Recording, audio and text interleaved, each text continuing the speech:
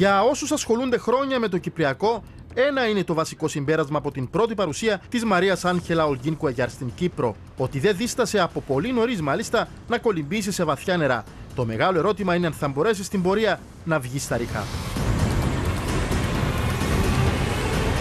Τα γεγονότα είναι πάντως ενθαρρυντικά ως προς τη διάθεση της νέας απεσταλμένης του Αντώνιο Γκουτέρες. Κατά την παρουσία της στο νησί, έδειξε σαφώς πως θέλει να τρέξει τα πράγματα και όχι να τα αφήσει να παγώσουν και άλλο.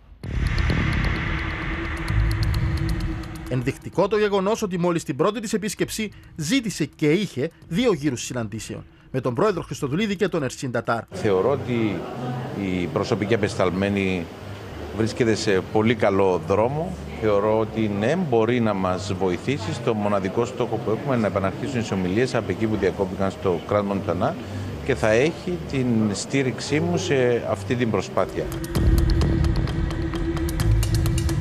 Δεύτερο στοιχείο, τα μηνύματα που απεκόμισε από την κοινωνία των πολιτών και τα οποία την εντυπωσίασαν ως προς την επιθυμία για μια μόνιμη λύση σε ένα πρόβλημα 60 χρόνων. Αυτά που έχει πει δημόσια μου τα έχει αναφέρει και εμένα. Τη τα είχα πει και στην πρώτη μας συνάντηση ότι ο Κυπριακός λαός, η συντριπτική πλειοψηφία του Κυπριακού λαού, Ελληνοκύπρε και Τουρκοκύπρε επιθυμούν την επανένωση της πατρίδας μας.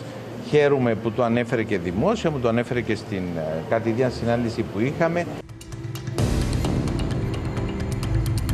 Τρίτο ενθαρρυντικό στοιχείο το ότι η κυρία Κουαγιάρ δεν έχασε καθόλου χρόνο για να κινηθούν οι διαδικασίες. Έκλεισε αμέσως ραντεβού την ερχόμενη εβδομάδα προκειμένου να βρεθεί σε Άγκυρα και Αθήνα, ενώ επίκεινται ταξίδια της σε Λονδίνο και Βρυξέλλες. Η επόμενη, μάλιστα, επίσκεψή της στην Κύπρο δεν πρόκειται να καθυστερήσει ποσώς. Θα έρθει ξανά στην Κύπρο τη δεύτερη εβδομάδα του Μαρτίου, οπότε και θα συναντηθούμε εκ νέου. Της είπα ότι για να ξεκινήσει μια νέα και επίσημη διαδικασία διαπραγμάτευσης πρέπει να επιβεβαιωθεί η κυρίαρχη ισότητα και το ισότιμο διεθνές καθεστώς. Την ώρα που ο Τατάρ επιλέγει να παίζει την ίδια κασέτα, η Λευκοσία σπεύδει να ξεκαθαρίσει τις δικές της θέσεις. Επιδίωξη της Κυπριακής Δημοκρατίας είναι τα ψηφίσματα του Συμβουλίου Ασφαλείας και το διαπραγματευτικό κεκτημένο του Κραν Μοντανά να αποτελέσουν την αφετηρία της νέας προσπάθειας για επανεκκίνηση των διαπραγματεύσεων για το Κυπριακό. Προσθέτοντας πως η συμβολή της Ευρωπαϊκής Ένωσης ήταν καθοριστική για να αρχίσει μια νέα πρωτοβουλία. Αποτελεί πάντως κοινή διαπίστωση πως η ερχόμενη εβδομάδα είναι αυτή που θα καθορίσει αν το τρένο θα μπει τελικά στις ράγες ή θα παραμείνει εκτροχιασμένο εδραιώνοντα την διχοτόμηση.